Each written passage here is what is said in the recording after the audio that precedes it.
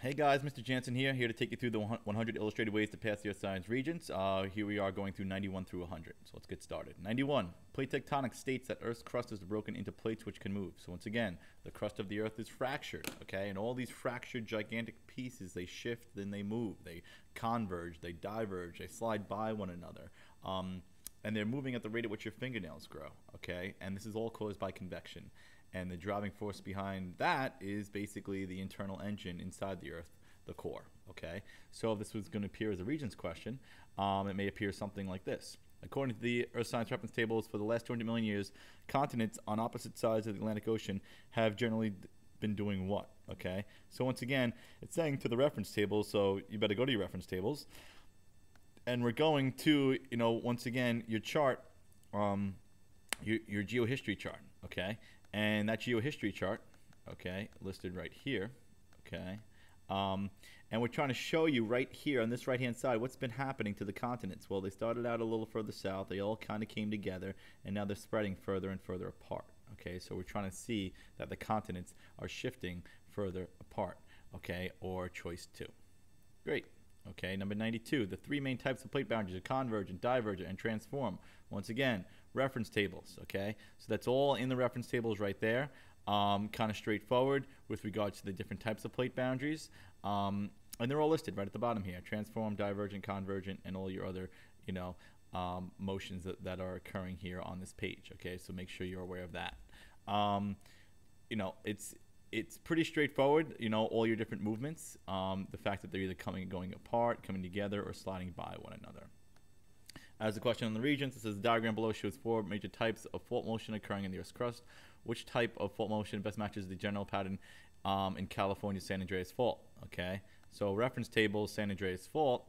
Um, this is North America here. Here's San Andreas right over here. So they're sliding by one another, okay? If they're sliding by one another, okay, that's going to be which one? Right here, this lateral fault, fault shearing going on, okay? Great. Moving on to number 93. Mountains formed by uplift. So once again, um, at maybe a convergent boundary of two plates coming together, and you're going to ha have the cross get forced upwards, okay? Classic example of this, okay, um, is India slamming into Asia forming the Himalayan mountains and you know basically pushing the land up okay um, and that's going to be opposed by the amount of erosion going on trying to bring the land back down okay but right now the, the land is still moving up um, diagram below represents the Acadian orogeny, okay, that resulted from the collision between North America and the European plate. Which geologic process most likely called the uplift of the Acadian mountain? So something going up, okay? So once again, we're, we're talking about this coming from the left, the North American plate, and the European plate coming from the right, okay? And that's going to result in all this types of faulting and folding, okay? So all this stuff is getting folded. Everything's getting folded right here. So that's why it's choice D, okay?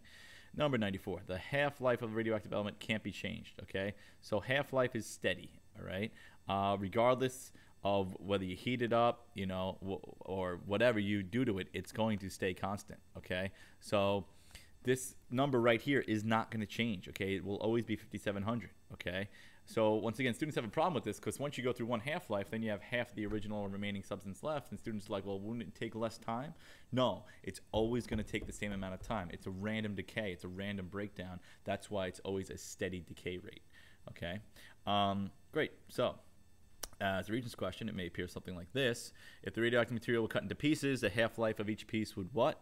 stay the same. Nothing's going to change. Choice C. Okay. Number 95, index fossils are good time markers.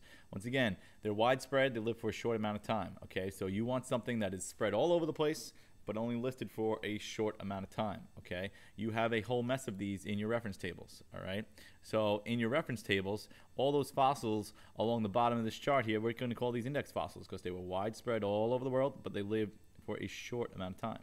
Okay, so um, when geologists find these in rock, they know exactly how old the rock is, which is very useful. Right. Okay, as a Regents question, it may appear something like this. Okay, the diagram below represents three bedrock outcrops. The layers have not been overturned. Letters A through E identify different rock layers. Fossils found uh, in the rock layers are shown. So which fossil is an index fossil? Okay, so of all the pictures here, you want one that's widespread, meaning found in all three, you know, rock layers, and is basically short-lived. So it's only going to be in one of the horizontal layers or just one of them. Okay, so you're looking for a picture that's all in all three outcrops, but is only in one thin layer, and that looks like it's going to be choice number three here because it's found here, here, and here, but it's only found in this letter C layer. Okay, very good. Um, going on, number 96, undisturbed strata, the bottom layer is the oldest. Okay, so if there's no overturning, the bottom layer is the oldest. Okay, so once again, you know, as sediments, you know, kind of fall down underneath the water, they're going to build up, build up, build up, build up, build up. Okay, and the the newest is on the top and the oldest is on the bottom. Okay, just like a masonry putting down bricks, they got to put the ones on the bottom down first before they put the ones on the top. Okay, so they're all going to form different layers. As Regent's question, it may appear something like this. Okay, unless a series of sedimentary rock has been overturned, the bottom rock layer is usually that's pretty straightforward. The oldest. Okay, the bottom is the oldest. Number 97, intrusion and faults are younger than the rock they are in. Okay, so we call this the principle of cross-cutting relationships. In other words, um, if you're going to crack a rock, you need the rock there first. If magma is going to intrude upon a rock, the rock needs to be there first. Okay, so the rock, all right, is older than any kind of intrusion or fault, or another way of saying that, that the intrusion and fault are younger than the rock. Okay, you could say it both ways. All right. As a Regent's question, it may appear something like this, okay? Uh, the photograph below shows an escarpment located in the western United States. The directions for north and south are indicated by the arrows. A fault in the sedimentary rocks is shown on the front of the escarpment. Photograph shows that the fault was most likely formed, well, we know the fault came after the rocks were put down, but what side shifted up, what side shifted down? Well, looking at it, it kind of looks like the north side, left side shifted down, and the south side kind of shifted up, okay, or choice one right there, okay? Great. Cool. Number 98. Uranium-238 dates old rocks, okay? The half-life for uranium-298 right here is four and a half billion years. So once again, to go through one half-life, okay, for 50% of uranium to be remaining and 50% of lead-206 to be remaining, um, it would take four and a half billion years, okay? And that's what we use to date our oldest rocks found here on Earth, all right?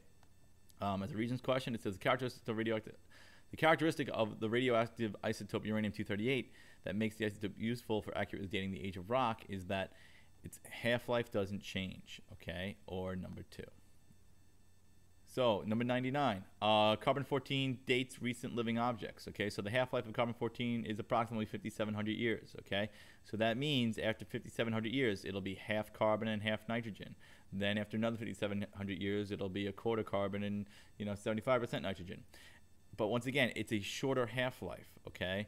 So it's going to date stuff up to like about 80,000 years old. Anything beyond 80,000 years, then there's not enough carbon left in it, okay? And you won't be able to detect it, all right? Um, as a Regent's question, it may appear something like this Which radioactive isotope, which radioactive substance would most probably be used in dating the recent remains of a plant found in sedimentary deposits? Recent carbon 14, A, okay? And 100, use your reference tables. This is one of the most important tools in your test taking arsenal. Oh man, you know, it, more than half of the test is coming right from your reference tables. I think, um, you know, the 2014 was about 68% of it was straight from the reference tables, okay? So once again, make sure you know just about every question you're flipping through this making sure that you know this can or or, or, or cannot help you um, most of the time it will help you. So make sure you're always flipping through this. Okay, guys? That concludes um, our final video here. Uh, stay tuned for more videos and good luck on the Regents.